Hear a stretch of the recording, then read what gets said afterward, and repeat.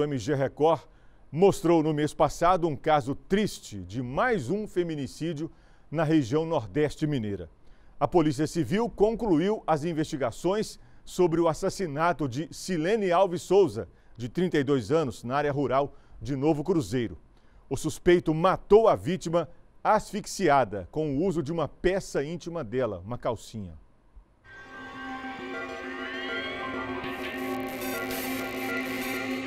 A delegada que investigou a motivação e as causas da morte concluiu que o suspeito agiu de forma cruel contra a vítima.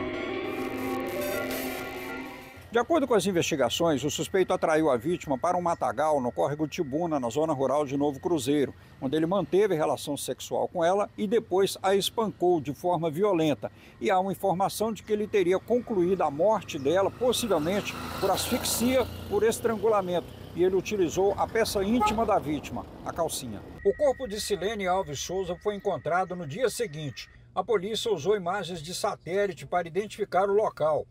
Os militares seguiram o rastro da moto do suspeito até chegar ao corpo. O assassino foi indiciado por estupro e feminicídio. Segundo a delegada, a pena pode chegar a 40 anos de reclusão. Pelo crime de estupro, a pena máxima até 10 anos, no caso do estupro é, o caput do, do artigo 213, além da pena de 12 a 30 anos pelo crime de homicídio. Os investigadores descobriram que a motivação foi banal e a morte de Silene Alves não teve apelo emocional, já que os dois se conheciam há pouco tempo.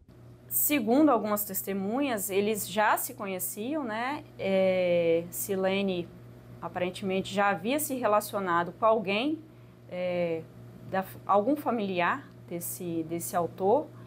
Na época, ele tentou alguma coisa contra ela, só que ela não correspondeu a esse assédio dele.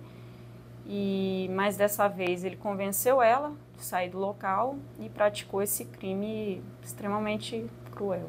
O inquérito apurou que a mulher tinha problemas emocionais por conta da perda da guarda dos filhos. A irmã chegou a comentar que ela sofria de depressão por conta de duas filhas delas dela que foram retiradas pelo conselho tutelar, mas comprovadamente a gente não, a família não apresentou nenhum laudo que comprovasse se de fato ela tinha algum transtorno mental. O homicídio qualificado, sendo que uma das qualificadoras é o feminicídio e pelo crime de estupro, tendo em vista que, que o laudo que a gente aguardava de Belo Horizonte constatou é, a presença de espermatozoide no canal vaginal da vítima.